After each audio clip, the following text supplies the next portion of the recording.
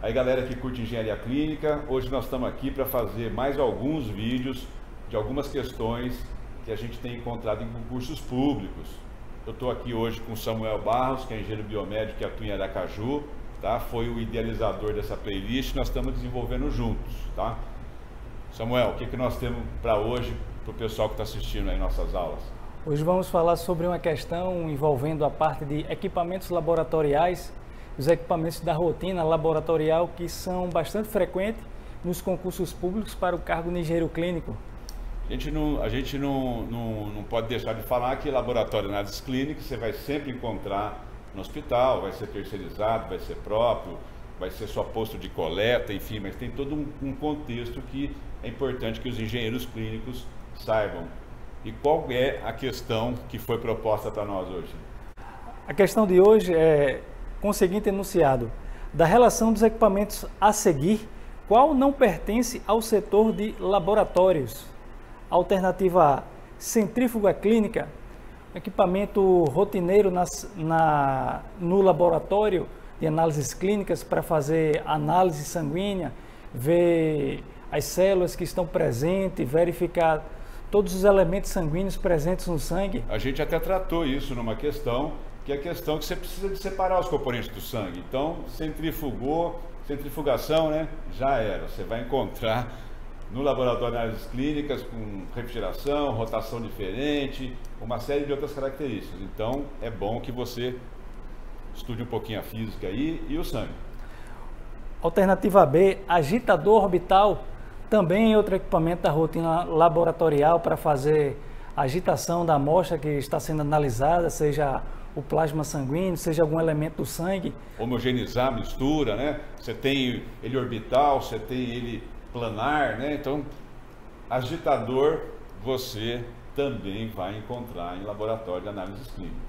Alternativa C, calorímetro fotoelétrico. Também outro equipamento frequente na rotina laboratorial para verificar através da luz emitida pela amostra a questão do calor específico que vai ser medido por esse equipamento? Mais alguma coisa, Lúcia, a gente pode acrescentar desse equipamento? É isso que você falou, vai queimar a amostra e vai ver quanto de calor aquela amostra é, vai produzir e ele vai usar isso um sensor é, fotoelétrico é sensível à luz, então ele vai medir, inferir sobre o calor, analisando a luz que é gerada durante essa queima. Isso aí também está dentro. Alternativa D, balança antropométrica. Essa aí a gente ficou em dúvida. Uma ressalva que é um equipamento frequente numa admissão hospitalar para verificar o paciente que não sabe o peso e altura, mas em alguns setores de triagem hospitalar pode ter também para fazer essa aferição inicial do paciente que muitas vezes não sabe o peso e altura. Ela fica um pouco, essa pergunta confunde um pouco e a, vamos ver a outra, a outra questão, né? Antes de responder, porque a gente ficou em dúvida, inclusive. É possível que tenha, né? A gente calibra isso, embora o pessoal não costume pesar mais paciente hoje em dia, é uma coisa meio de louco, mas vamos ver a próxima que aí a gente tira a dúvida. A alternativa é microcentrífuga para hematócrito.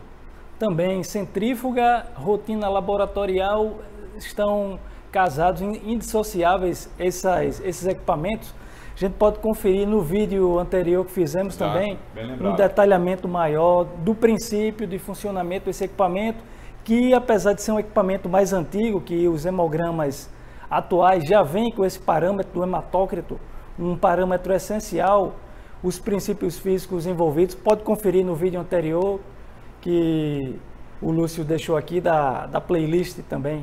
Então, esse é uma questão né, que a gente comentou lá. Você tem que conhecer o sangue, porque você vai entender o tamanho das partículas, você entender a velocidade de centrifugação, a importância da, da, velocidade de centrifugação na partícula que você quer centrifugar. Então, Samuel, é o que eu acho assim, a menos errada aí, né, seria a, a questão certa aí, no caso, eu, eu marcaria a, a balança antropométrica, né, que vai medir a altura e vai medir o peso, mas fica essa dúvida que a gente colocou, porque pode ser que seja necessário você pesar o paciente num laboratório de análises clínicas. É isso aí? É isso aí. Espero que vocês tenham gostado. Deixa o like lá no canal. Se inscreve no canal para ajudar a gente aí a fazer mais questões, né? Lembrando que A gente aproveita a vinda do Samuel, que vem de Aracaju de vez em quando, para a gente gravar esses vídeos e a gente está bolando um jeito aqui de mesmo em Aracaju, eu aqui em São Paulo, a gente continuar a evoluir essa playlist.